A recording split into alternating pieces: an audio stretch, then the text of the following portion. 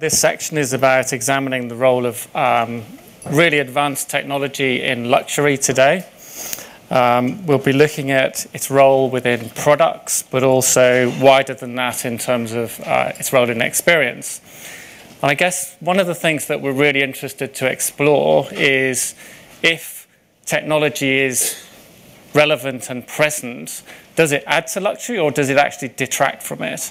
And I think the answer lies in that it's not that simple. In fact, in some categories, it helps, and in others, it actually completely devalues luxury. So we'll explore that, and then we'll look at uh, beyond the product itself, if there's, a, if there's a role for technology in creating a, a relationship with luxury buyers. The, the first observation we would make is this one that you know, luxury really is pretty complex. Uh, it's something that's deeply human, and that quite often, the closer it embraces technology, the less luxury it actually has. And if you think about that, it's not that surprising, because actually, lu luxury isn't about technology, and technology isn't about luxury. Uh, in fact, technology is really sort of worshipping as a different altar altogether. Um, it's about performance. It's about making things better, faster, more accurate, more precise, more reliable. And sometimes those things are relevant to luxury, but not always and not in every case.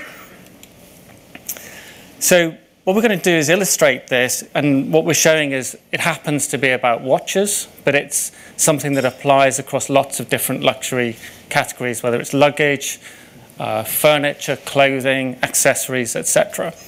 And a really interesting fact is that in the mid 60s, the Horological Society in Switzerland took this material, which is quartz, uh, as an instrument to try and measure time. And they passed an electrical current through a tiny chip of this and observed that it vibrated at a really precise rate and frequency. And they christened it Beta 1, and it was in fact the birth of the quartz watch. Um, that innovation has spread like wildfire. These are what the watches looked like. They're not particularly pretty and beautiful, but they are very accurate in terms of the time that they can tell. And they make that time accessible to many people. This is what watches used to look like. They were mechanical, they were more beautiful, they were more aesthetic. What's fascinating to know is that in that short period from 67 to the year 2000, only 15% of watches by then were mechanical. The rest were quartz and electronic. And, you know, they're not particularly beautiful things to look at. Obviously, if you wind forward, you can say that the technologies in watches has developed massively since then. And this is an example from TAG. It's the Mikrogirder. It costs about $80,000 and it's accurate to one ten thousandth of a second. That sounds fantastic until you actually think about what that means. It means that if you want to tell the time, you have to add the minutes to the seconds, to the tenth of the seconds, to the ten thousandths of a second to understand what time it is. Now, that might sound simple, but when you realize that this is what the watch actually looks like,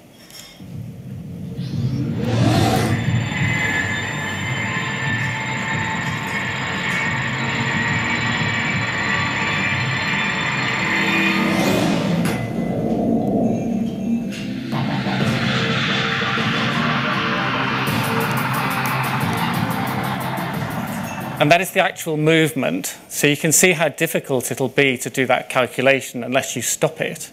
Of course, if you stop it, you can work out the minutes, everything else. But in the time it's taken you to do that, obviously that little dial should have gone round a few thousand times. So you can see the problem. Although it's fantastically accurate, it's virtually impossible to tell the time with it. it might be relevant if you're doing something where accuracy and speed is critical and you have to know the time really precisely. But it's very unlikely that you would be using a wristwatch for that. There'd be some other sort of instrument that is controlling the plane. The reality is that in luxury, we place much more value on simple technology. things that operate at a much more sort of human level, that in many ways sort of mimic the heart, the humanity, the pace of life that is accessible and simple in terms of technology. It's why we like and appreciate grandfather clocks and clockwork. And when it's elevated above the practical and simple technologies in a thing that is of an object of beauty and craft,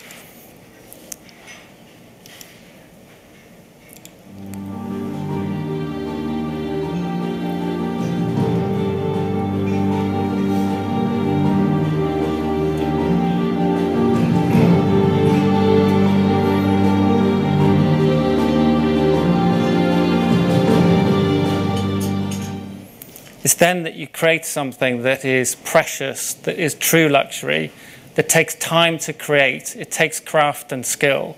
It's not something that can be made by machines. And it's not something that has high technology inside it. The same is true of something like this.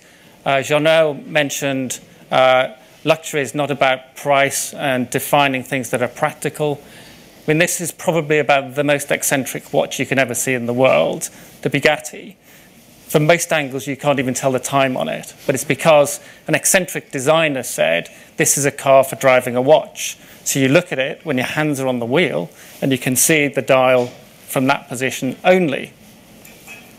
It's crazy, but it's very expensive, it's very beautiful, it's limited edition, and it's a true luxury watch.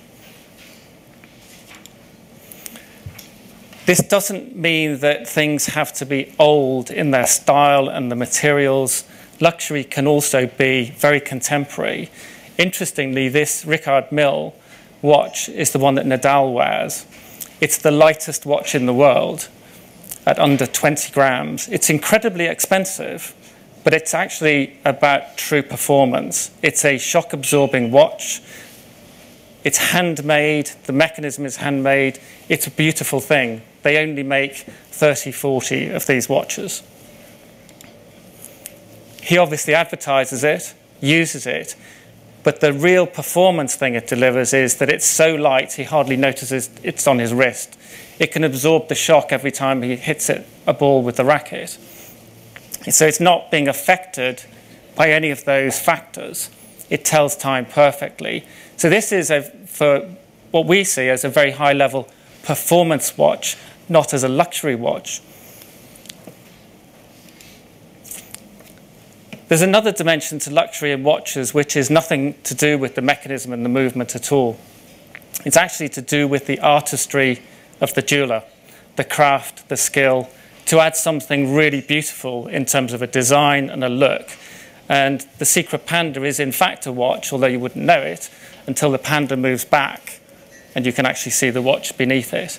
Again, these are things that are exhibiting really excellent skills in terms of craftsmanship and artistry. So, our first observation is that in some ways there is a diametrically opposed uh, value to when you introduce technology into luxury. It devalues and detracts.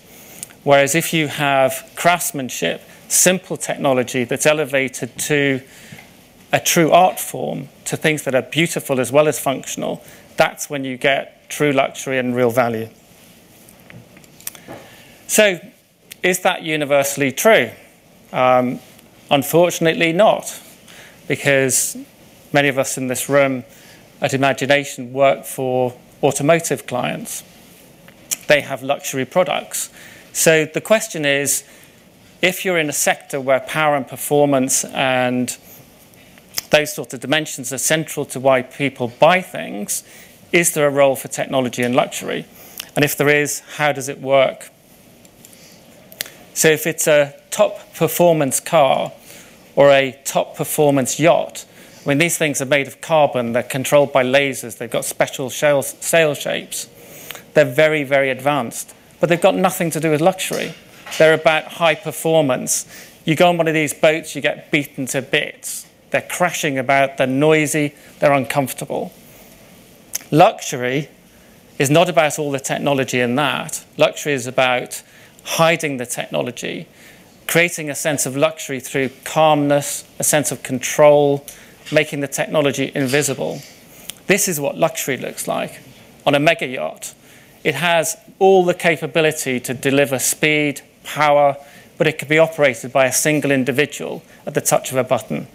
It's a Wally yacht. They specialize in really innovative high tech, but it's hidden.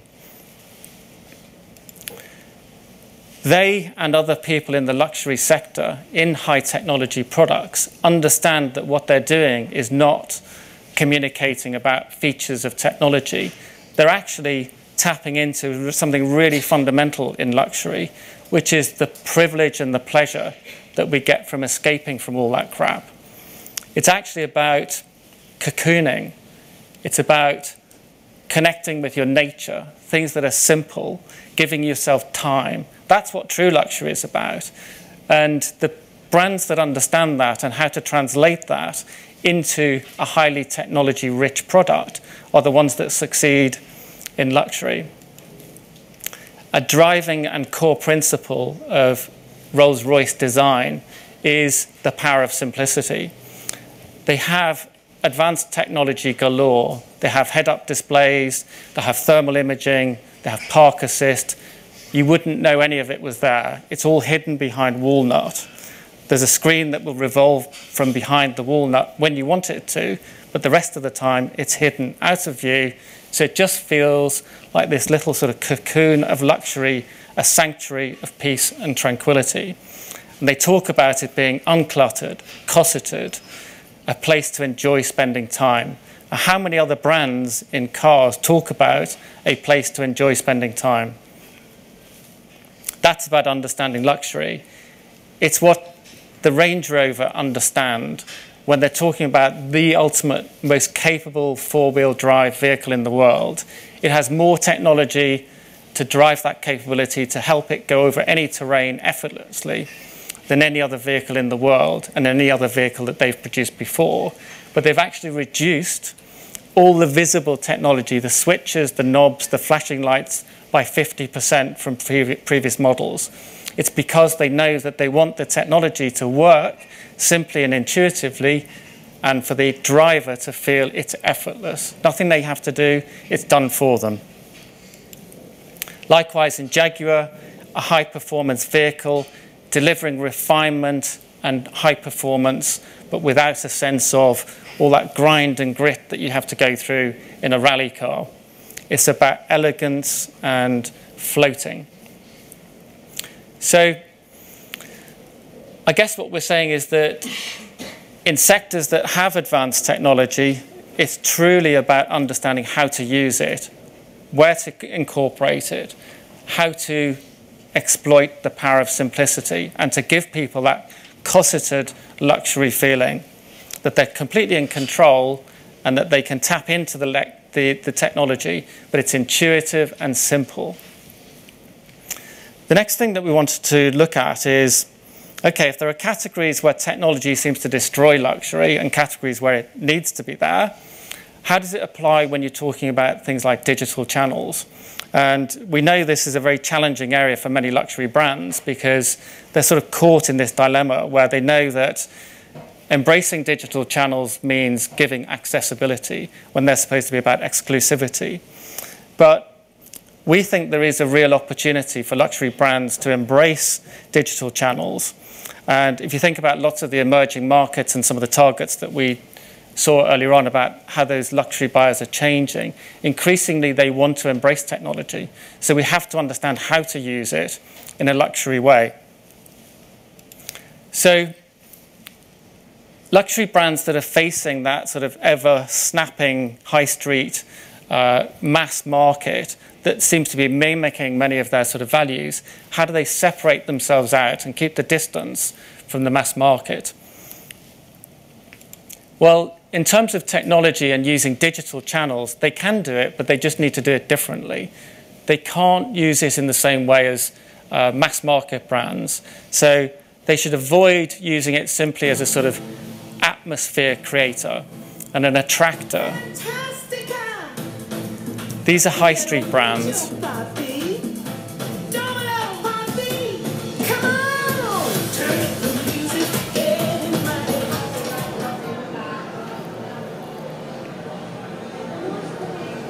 And for them, it's about drawing people to the brand, to the product.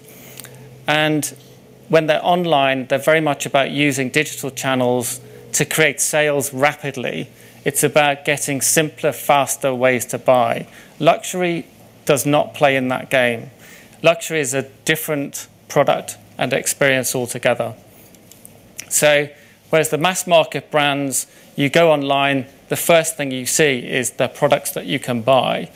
Um, Abercrombie's idea of experience is nothing more substantial and significant than the experience of how their sort of greeters develop their muscles and can stand around the shops. I mean, how shallow is that? They have a role, they're very successful, but they're not luxury. The same for Zara. If you look at their shops, they're beautiful. They've got lots of the luxury values.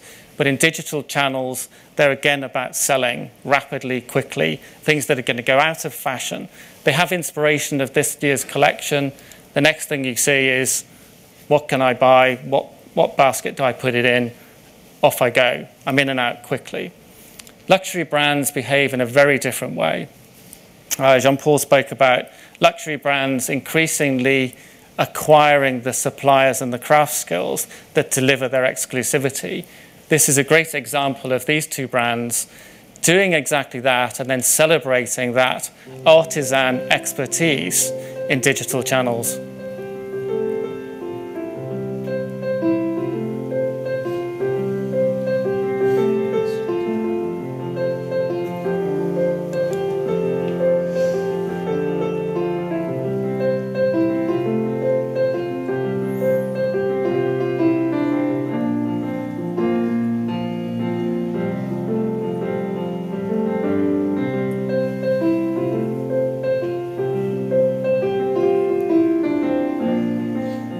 Think you can see where it's going. It's all about the handcraft, the skill, the individual things that can't be mass produced.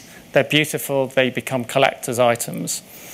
A brand that you could say in this market, maybe a little sort of tired for older people, has really re energized itself in terms of communicating its brand values and heritage. And in fact, Alfred Dunhill don't even talk about the products, they talk about the values of the brand. They communicate through the eyes of a contemporary British gentleman about culture, refinement, art. So when you go online, you'll see these, this collection of beautifully observed pieces. This one is about a musician and how he feels about playing a violin me, concert. Um, if you get a big public who enjoy your performances and you play many concerts to sell out audiences, that's sort of an ultimate goal, without doubt. But even when I when I really feel like I'm on top of you know on top of the violin, I really feel a good sense of mastery. And even if I give a performance, you know, if I'm playing a Brahms violin sonata, and I don't know, if I'm playing to 25 people in a small place, it's irrelevant where it is or you know how high profile it is. It was a piece of history that never actually happened. The unmistakable song of 12 cylinders in full cry. It's just a phenomenal piece of machinery, great proportion, almost aeronautical in its purity. One of the fastest cars ever made for the time. Art, design, the sort of almost the heraldry of the night, the adventure of discovering places that people have never been to, the danger. All sorts of little things over many expeditions have caused failure. Doing Everest, I'd spent two months, you know, going up and down, up and down, and from the Nepalese side, when at about 28,500 feet, somewhere above the South Col, um, came to the body of a, of a guy, a really nice guy called um, Rob Milne. And in this case, it's the artisan artistry of an individual. The early 20th century, there was a real kind of sense of quality attached to travelling. Every, every journey would have been a romantic adventure, exploring kind of the, the world that hadn't been seen before. I thought it would be really nice to. So, nothing to do with the products that they're specifically selling, but all about their values and their worldview and asking you to share in that and to be part of that when you buy their products. I think it's been taken to another level in terms of the digital ecosystem when you talk about how Burberry have used these channels. They have all the history, the founder, the, the story of gabardine, how it was used genuinely to make coats that performed effectively in the trenches or resisted the wind when they were flying. But they've gone beyond that. They've said that's the heritage part of it. It's real, it's authentic. But there's a true story still being told today, live online. There are brilliant photographers taking portraits of people in these wonderful, sharp coats. There are individuals submitting their photographs of their life, their coats, and you can design a personalized version of these Macs yourself online and in store. The other thing that's really interesting is that they've associated themselves with contemporary music, but not in the usual way, which is just sort of borrowing the interest of youthful enthusiasm and music and connection. They've got a very particular version of music that they connect with, and it's very deliberately acoustic. They've unplugged the bands from all that sort of technology and wizardry and said, let's get back to the raw artistry, the musicianship, the beauty of people singing in really simple ways. So they disconnect people from all the bands from all of that sort of elaborate lights and stage and everything and strip it back to something truly authentic and interesting. Thank you.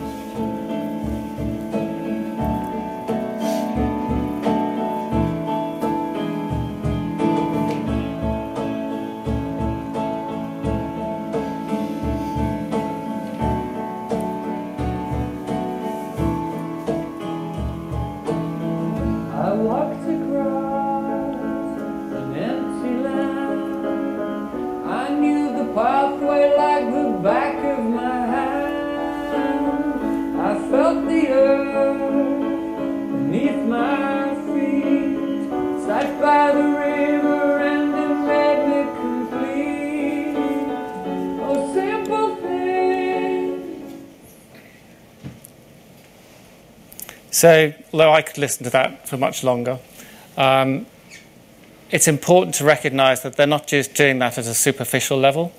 They use it as a really powerful asset. So, when they have global events launching the new collections, the sophisticated, high end clothing, they also have the live performances from these bands in that very sort of unplugged way that adds something really startling and enjoyable into what would otherwise be quite a sort of sterile, although exciting and glossy experience. So this is what it looks like when they pull the things together for Burberry Live.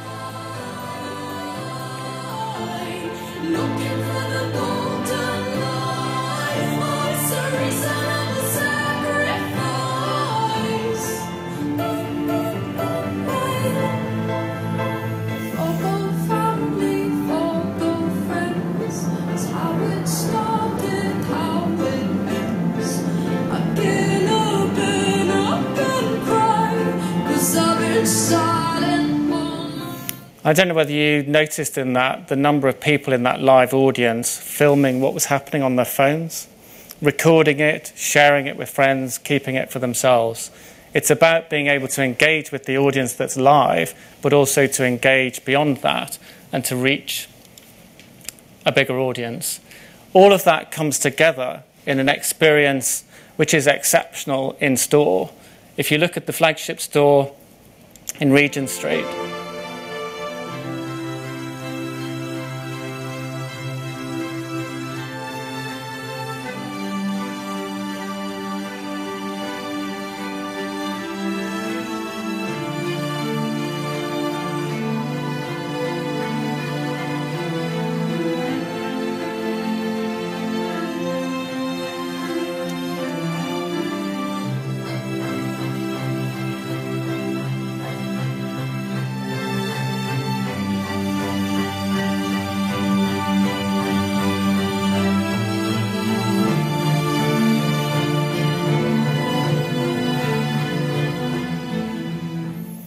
the great thing is they can have live events in the store, they can connect to live shows the other side of the world, they'll invite guests into that space.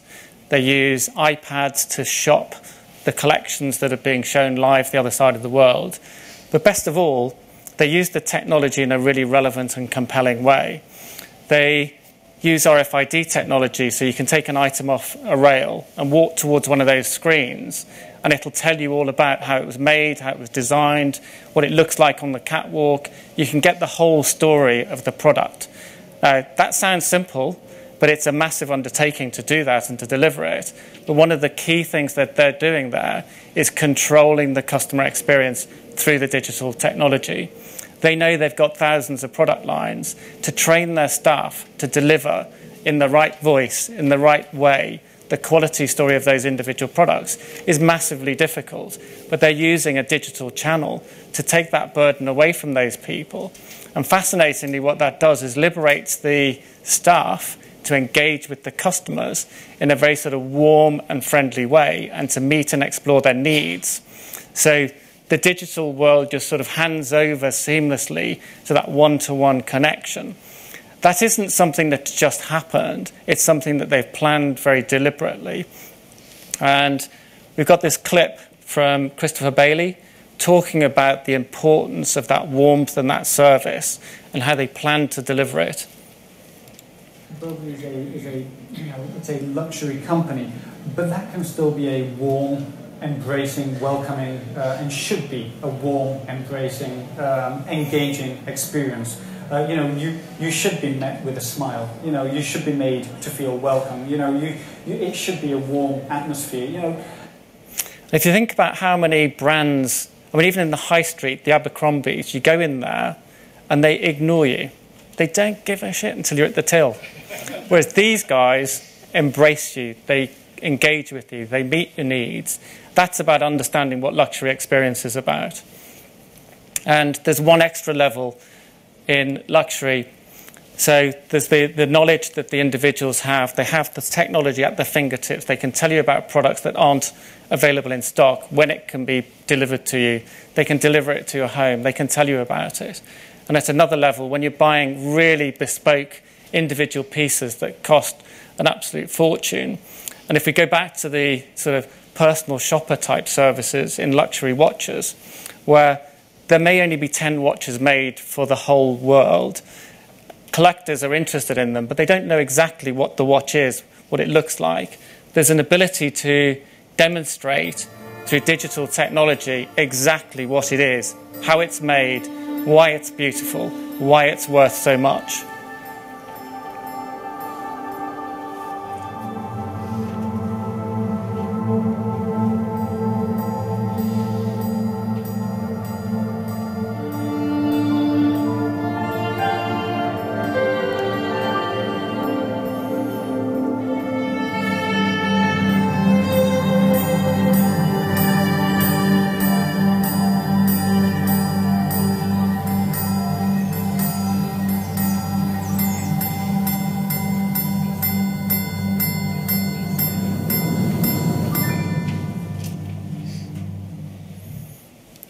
So, if we were to say, is luxury history?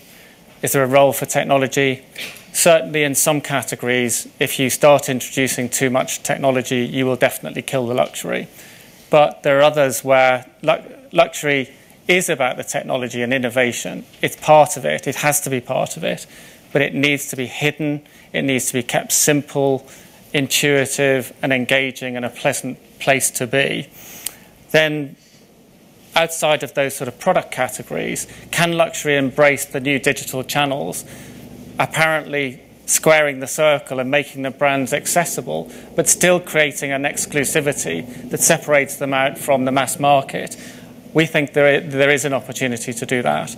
If you do it well, if you understand how to use those channels to tell the right stories about the craftsmanship, the authenticity, the heritage, and to reach people in the right way.